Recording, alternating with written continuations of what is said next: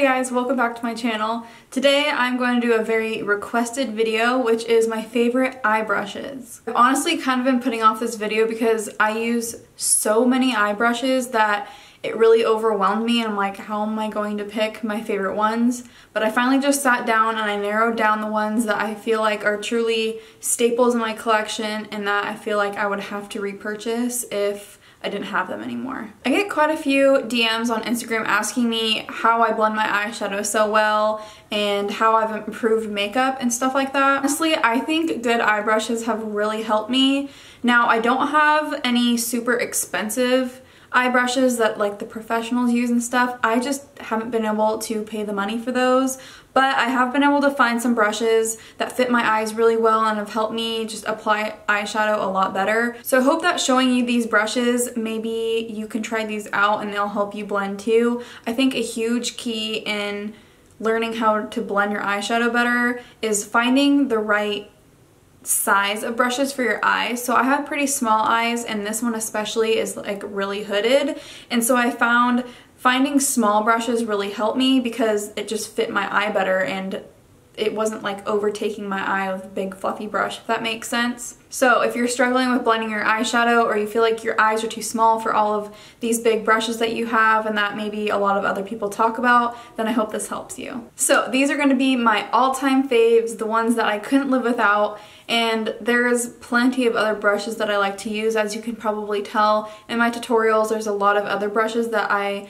will use so if you're interested in hearing those brushes you can head over to my Twitter I did a little uh, like thread a little while ago with all of my favorite brushes at that point and it was easier to obviously just take pictures of them and post them so there's probably going to be more pictures over there if you want to go follow me on my Twitter it's at tesseffects and then also on my Instagram, sometimes I'll post about brushes in my stories if I find like a new brush that I'm obsessed with. So if you want to go follow me over there also, it's also at tesseffects. If you're interested in seeing how I created this look, that video should be going up right before this one. So I'll link it down in the description below, but it's going to be like a fresh spring look as you can probably tell. Okay, and I'll shut up with the intro now and let's get into my favorite brushes.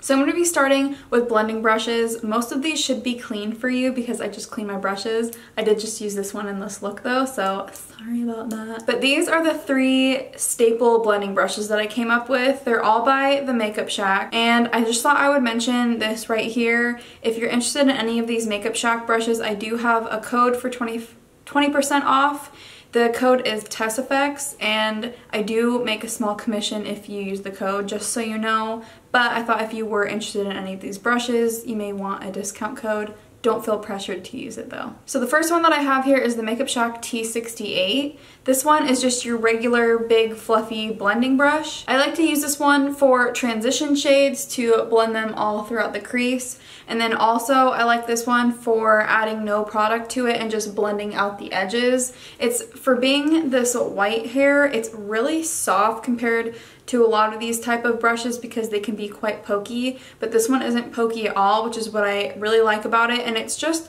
the perfect density. I don't know if you can tell but I'm going to compare it to another brush really quickly. This one's by Makeup Addiction. As you can tell, they're kind of similar. Um, this one's obviously a little bit smaller, but if I turn it this way, I think you can tell that this one has a lot more bristles in it, and they're just more densely packed. And with the softness of it, it just blends out my eyeshadow so nicely in the crease. So this is one of my favorites for that. Next I have a brush that's kind of similar. This is a Makeup Shack T87. And this one's just a bit more densely packed and it's obviously a, made out of a different material so it's like this duo fiber. So it's a lot more dense than even that last brush that I showed you and it's a, a, little bit finer than the previous brush. So this is what they look like compared. This one's obviously a little bit more fluffy than this one. So this one I like to go in usually after my transition color and I'll use this brush to go right in my like deeper in my crease and I'll use this to kind of pack a punch with colors since of the material that it is made out of and since it's a little bit more dense it will pack a lot of color on but still blend out at the same time. So, and this one's also really soft, so this is another one that I really like for blending. And then also for blending, this is the Makeup Shack T67, and this one's just a more tapered, skinny type blending brush, so this one will fit right in your crease really well. Um, and this one's just good for a little bit more detailing without being like super detailed if that makes sense. It'll still diffuse the color but it just fits in your crease a little bit better. I'd say what are some popular brushes like the MAC 217 I believe. I don't own that but I think this is like a similar shape to that and then also I do have the Morphe M433 which I believe they are pretty similar. Um, they both kind of have that tapered edge and are a little bit skinnier. But I don't know if you can tell on camera, the Makeup Shack one is a bit skinnier than the Morphe one. And I like that since I have smaller eyes and they're a little bit hooded so this one just fits in my crease better but honestly both of them will do well I just like to use this one a little bit more alright so moving on to one of my most important categories here that I think that there is are the detailed small blending brushes. These I feel like have helped my eyeshadow game so much. I honestly don't know what I would do without any of these brushes, at least one of these brushes. If you're doing really detailed makeup looks or you're trying to deepen up just one specific tiny spot in your eye, it can be really hard to use one of those previous brushes that I showed you, especially if you have smaller eyes. So these are some that I really recommend that you check out if you have smaller eyes or are having difficulty blending out your eyeshadow. So I'm going to start off with these two brushes. These are both Morphe brushes and they're the Morphe M507 and Morphe M506. So they're almost identical except for, I don't know if you can tell, but this one right here is just slightly more dense and pointed than this one is. So honestly, you don't need both of these, but I do like to have both. I do find that I probably use this M506, which is the little bit fluffier one, a little bit more often because it fits right into the crevice of my crease better than this one. This one has more of a point and I would end up using one of the ones that I'm going to show you in a second anyways. But I think if you were to have any of either of these Morphe ones, I would go with the M506 if you can't get both. But again, I really like this one not only to get right into the details of my crease, but I also like to blend out my lower lash eyeshadow with this one. It just fits on my lower lashes and smokes it out so perfectly. So M507, M506 are great.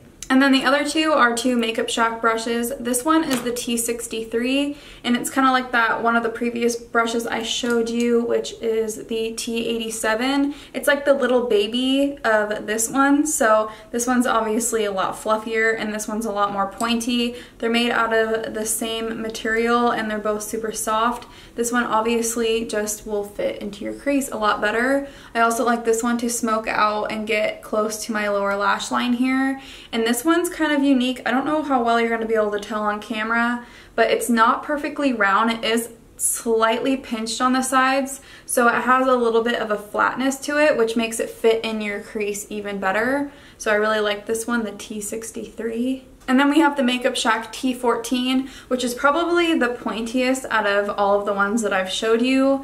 I'd say it's most similar to the M507 from Morphe. Here's the difference here and you can even tell that this one's a bit more fluffy than this one. This one's really good to get really close to your lower lash line, like I said before with the other ones, but this one's a bit more stiff. This one's almost similar to a pencil brush, but the bristles are a little bit longer and they do taper to kind of a point. So I really, this one is good for a lot of uses if you want get really detailed on an inner part of your eye here. This one would be good for an inner corner. This is just like an all-around good staple brush and it has some stiffness to it so it won't just kind of fluff the hairs every time that you go to try and blend it so I really like this one. Next I'm going to move on to my favorite pencil brushes and I have three here all for three different reasons. I'm going to start with the biggest one here and this is the Makeup Shack T8 and this is just a big chunky pencil brush and this one I don't use for my lower lash line or inner corner like I would use any of the other pencil brushes. I like this one for the very outer corner of my eye and I just kind of stamp the color on or you can bring this one up into the crease also. It's really, really dense, so it will pack color on really well, and it's also a little bit more detailed, so if you wanted something a little bit bigger than, say, one of these little detailed brushes, but you still wanted it to be smaller than, you know, a normal blending brush, this is a really good one. Yeah, it's just a big, chunky pencil brush. Next is like your standard pencil brush, and it's literally the best pencil brush I will ever find in my life, I'm convinced. This is the Zoeva 230 Luxe Pencil Brush, and this is what it looks like. I'll compare the last one so you can see how the size difference is. This one isn't a lot smaller, but it's just a little bit more fine than this one, and it has a little bit more of a pointed tip. The thing that I love about this brush is the hairs on it. They're just the perfect softness. They're not scratchy at all. That is something that I'll mention about this brush. This is one of the more scratchy ones, so that's why I don't like to put it on my lower lash line here because it can be kind of scratchy, but it's good for my outer corner here. This one you can swipe all around your eye and it's not gonna ir irritate it. It's so soft. I think this one's a little bit more pricey than the rest of the brushes that I'll show you, but it's definitely worth it. I would buy 20 of them over again. And then finally, the tiniest little pencil brush brush. I'll compare these to the other two so you can see how baby it is, what they all look like compared. And this one is definitely a staple in my collection. This one's good for so many different uses. This one's really good to get a really precise inner corner. It's good for your lower lash line and it's also good for really detailed looks. So you can go back in some of my tutorials that I've done and if I do like a halo cut crease type thing where I want the deepest part of the crease to really, really be black or something like that, I'll go in with a brush like this and after I cut out my concealer and I'll pat the color on and it's just so small that it doesn't disperse the color everywhere. So this is definitely a staple detail brush if you feel like you're having a hard time getting your eyeshadow deepened how you want to without it becoming really messy. I don't know if I mentioned the name, it's the T65. Next I thought I would bring up a little set here. I don't think that these all come in the same set. I think they come in separate sets, but they come in a set of like one or two brushes. I think these ones come together and then this one might come different, but pretty much all of these Real Techniques brushes with the purple handles are really, really good. And they have a lot of really good detail brushes as well, which is what I'm going to show you. So this one is like, if I need to put gel liner in my lower lash line, which if I want a eyeliner to stay in my waterline the best, I'll use a gel liner. And this one is just so tiny and perfect to get it right in there without it hurting your eye and getting all over in your eyeball. It's just like the most perfect little tiny detail brush and I feel like you could use this for the tiniest details on your eyes too. I've never seen a brush this small or this shape so it's a really unique one and it's really affordable. And then this one's kind of similar to a pencil brush I guess you could say but it's a little bit more rounded out. It's just another good one. You could use it for the inner corner. You could use it to blend out which is what I usually do if I want to get really detailed in the crease. That's a good one. And then this one's more of just a smudgy brush, so it's really dense and it's a little bit longer and chunkier, and it's really good to smudge out your lower lash line and I just think these are really good and they're super accessible because you can just get them at Ulta. I thought I would also mention another brush set. This is by BH Cosmetics and it's their Rose Quartz brush set. I feel like I've mentioned this maybe in a previous video or something. I've definitely mentioned it on Twitter because a lot of times when I recommend BH Cosmetics, which they have a lot of quality stuff for super cheap and they always have sales going on, but it is kind of overwhelming to choose brushes from their website because most of their brushes are in sets and you don't know which ones have like the good sets where you're going to use more of the brushes rather than just like one brush out of the entire set, you know? So this is always the set that I go to to recommend to people. This comes with eye brushes and face brushes. These are just the two that I pulled out that I use really frequently. This is a little detailed eye brush and it's kind of similar to the little detailed ones that I showed you before. And then this one is a little flat shader brush and it's kind of pointed at the very tip, which makes it really good to get really close on your inner corner. And it's pretty pretty dense, so it packs a lot of color and both these brushes are just really good quality. I think the entire set for maybe 10 brushes is like $10 or something like that, but I would honestly pay like $30 for the set. It's such a good set, and if you're looking to buy some BH Cosmetics brushes, I would definitely get this set here. Next I'm going to move on to my flat shader brushes, and I have three here. I'm going to start with the smallest one here because I feel like if you get any of these brushes, you should definitely get this one. This one's the most unique and I use it all the time. I actually have like three of them total because I love it so much. This is the Makeup Shack T58 and as you can see, it's just a tiny little flat shader brush. This is what it looks like compared to like an average size one, I would say. It picks up shimmer eyeshadow so well to where when you swipe it on your eye, you actually get payoff.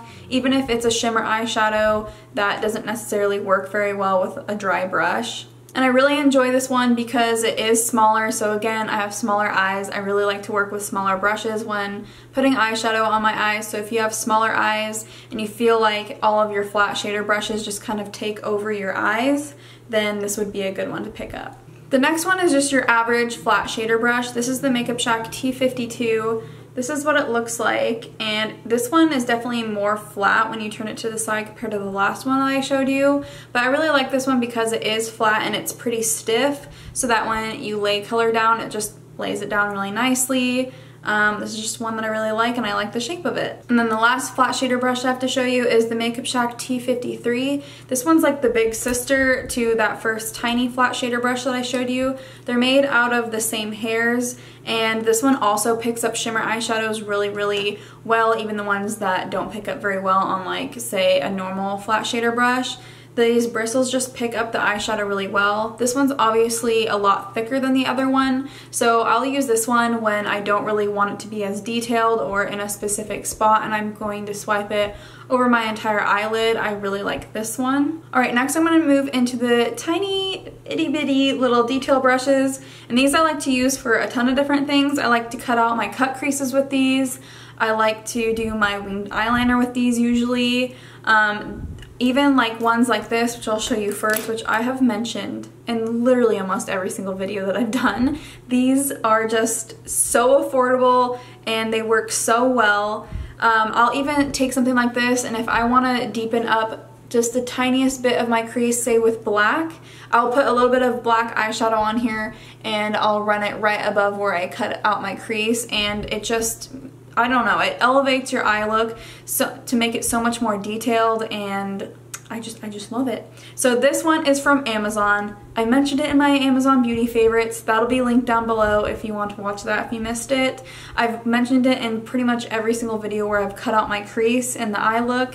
Um, it comes in a set of 10 and these are just detail paint brushes. I think the set of 10 is like five six dollars. So these are definitely worth getting. There's oh, there's flat shader brushes there's liner brushes like these there's 10 of them you cannot go wrong with these. And the next one is kind of a similar brush to the last one. This one's just even tinier itty bitty. You can see how tiny it is there. And I got this one at Michael's. You can find brushes like this at pretty much any craft store. This is by the brand Artist Loft and it says 10-0 Vienna. So if you're going to Michael's and trying to find it, that's what it looks like. I'll try to do a close-up of the label so you can see what it looks like.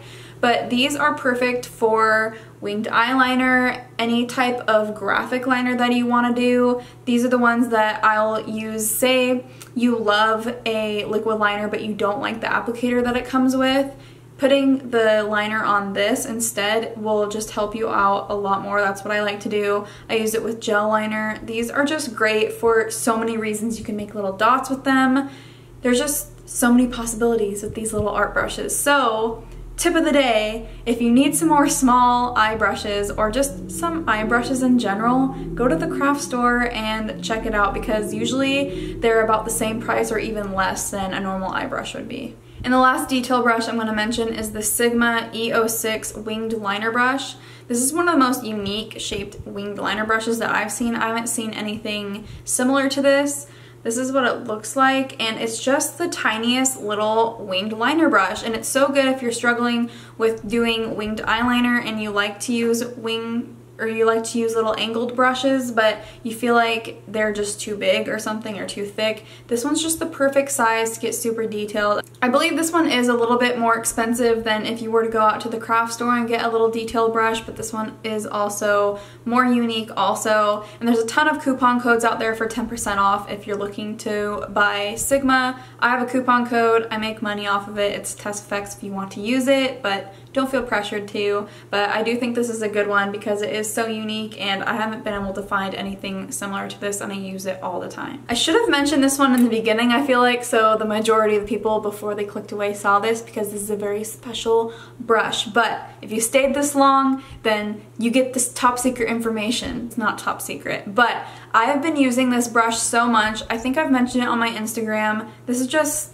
such, you would think this is like a gimmicky brush, right? Like it's a little silicone, flappy, weird brush, and you would think, okay, that's one of those like cheapo little things that you would get with a palette that you would never use. That's how I felt when I got it until I used it for the first time. So they market this as like a glitter applicator, which is how I used it the first time, and it works so good. If you have loose glitter and you hate using it because it's just a mess to apply it, definitely pick up one of these. This is, I don't think I mentioned, it's the Makeup Shack T69 and you just put your glitter glue on and you dunk your brush into it this little silicone brush into it and pat it on and it's the most mess-free loose glitter applicator ever and it's super easy to clean also because you can just take a makeup wipe and wipe it off as if you were using a brush with glitter and the glitter gets stuck in all of the hair bristles. This one's just so good for that. It's good for using with loose pigments. I've done that on an Instagram tutorial over on my Instagram if you want to go see that in action.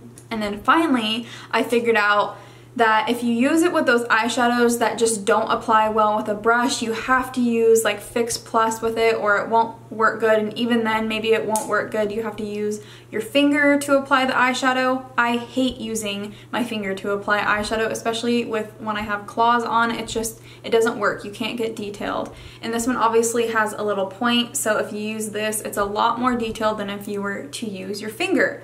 So I'm going to show you a little demo really quick. This right here is the Anastasia Prism palette. I do like this palette, but some of the shimmers don't apply very well with a normal brush. So for the example, I'm just going to use the color Sphinx right here, and I'm going to go in with one of these brushes that I showed you earlier. This is just the regular flat shader brush, and then I'm also going to show you swatching it with this little silicone brush. So I'm just tapping it into the pan a couple of times. I'm going to do it the same amount and I'm going to show you live swatches of what it looks like. This actually seems to be one of the better colors, but as you can see, there's pigment there, but it's not super metallic. Like it just doesn't show the metallicness very much. So now I'm to go in with the silicone brush. And this is what it looks like on the silicone brush. If you can tell, it just picks up the pigment so easily because it's like that silicone sticky feeling. And I'm going to swatch this one right next to this one so you can see the difference. You can see that is one swipe and can you see how much more metallic that is? So I'll go over a couple, sorry it's hard to show you, but I'm just swiping it on like I did the other one. And you can tell that this one is more pigmented and it also kept more of the like shimmery part of to the eyeshadow. So after using this, I honestly don't think I could ever apply loose glitters or loose pigments the same way ever again and also it just really comes in handy when I want to use a shimmer eyeshadow but I don't want to go through the hassle of like wetting a normal brush and all that. This one just works really well and it's super affordable. Alright, and that wraps up all of my favorite eye brushes. Of course, you'll be seeing me use a ton of different brushes in my tutorials, and I may mention other brushes that are going to be my favorites, but this is what I just tried to narrow down so that the video wasn't like five hours long. I really hope that this was helpful so that you could find some new brushes to help you out, blend out your eyeshadow. Again, I think it's so important to find the perfect brush for your eye, and it will just help you blend so much more. Like I mentioned before, I do have a code for the Makeup Shack and Sigma Beauty Both the codes are tesseffects and they both are affiliate codes so I do make a commission if you use those codes but I really really appreciate it if you do use them but please don't feel pressured to use them. If you're interested in seeing a favorite face brushes video then please let me know down in the comments and I'll try and get that one done here pretty soon. I don't feel like I have as many favorite face brushes. I pretty much use like the same couple so that one shouldn't be as long as this one. Don't forget to subscribe on your way out. I post once a week and that way you will not miss an upload. And with all that being said, I'll see you guys next week. Bye!